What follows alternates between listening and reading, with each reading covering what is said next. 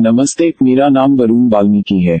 मेरा उद्देश्य हिंदी भाषा में ऐसी जानकारियाँ उपलब्ध कराना है जो विभिन्न विषयों के बारे में आपका ज्ञान बढ़ाएँगी। आज का विषय है महर्षि वाल्मीकि का जीवन परिचय।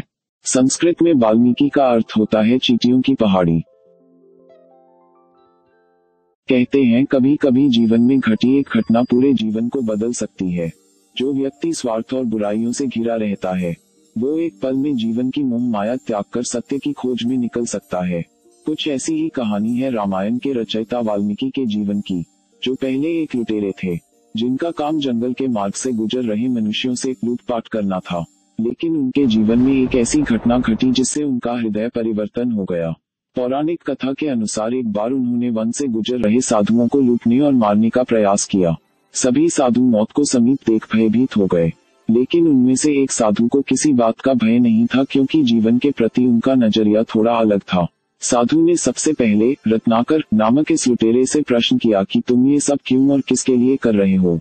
अंत में साधु के पूछने पर उन्होंने इस बात को स्वीकार किया कि वे यह सब अपनी पत्नी और बच्चों के लिए कर रहे हैं। तब साधु ने उन्हें ज्ञान देते हुए कहा कि जो भी पाप कर्म तुम कर रहे हो, उसका दंड केवल तुम्हें ही भुगतना पड़ेगा। तुम जाकर अपने परिवार वालों से पूछकर आओ कि क्या वे तुम्हारे इस पाप के भागीदार बनेंगे। रत्नाकर ने ऐसा ही किया। उसने अपने घर जाकर ये बात अपनी पत्नी और बच्चों से पूछी। इस बात पर उसकी पत्नी और बच्चों ने अपनी असहमति प्रदान की और कहा कि हम आपके इस पाप कर्म में भागीदार नहीं बनेंगे।